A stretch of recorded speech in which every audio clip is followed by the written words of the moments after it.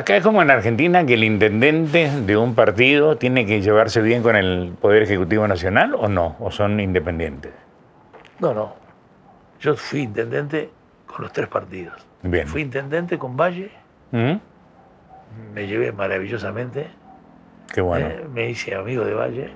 De hecho, un día me llamó el presidente y me dice, Valle me llamó y me dice, no tengo ganas, Santía, de... Me invitaron a ir a la Costa de Oro Europea en Francia, ¿no? ¿Te animás a ir con mi mujer? Y me fui con Mercedes.